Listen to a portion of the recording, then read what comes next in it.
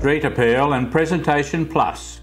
A picket fence, stone retainer walls, sandstone stairs and paths, and established gardens add to the picturesque look of this classic Queenslander. However, going inside from the covered front porch is a revelation. Inside is just as picture perfect, with high ceilings, polished timber floors, picture rails, and stunning lighting. The spacious dining room is semi-separated from the equally spacious open-plan lounge room and kitchen. There's a great sense of space with wide access to the generous sized top floor rear deck with an easterly view over the village and beyond and an outdoor kitchen.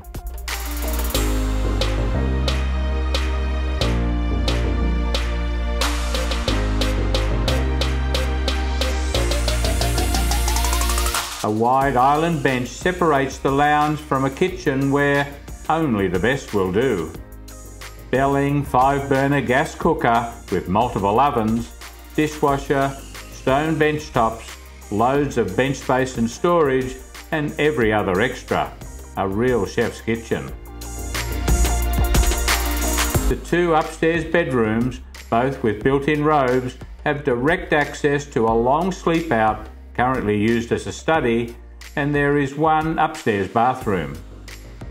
Internal stairs lead to a lower level devoted to a master or guest bedroom with an adjoining bathroom.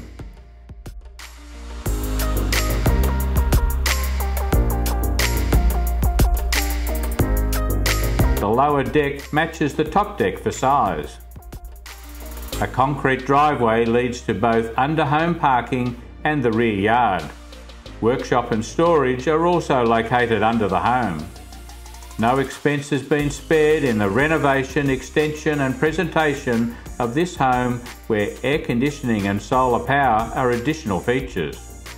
Elizabeth Street is Imbil's favourite street, not far from the CBD, general store or the local pub and cafes. Imbil is set on the banks of Yabba Creek and the edge of the state forest. It's less than half an hour from Gympie, 45 minutes from the coast at Noosa, and about 10 minutes from the new freeway, on your way to anywhere.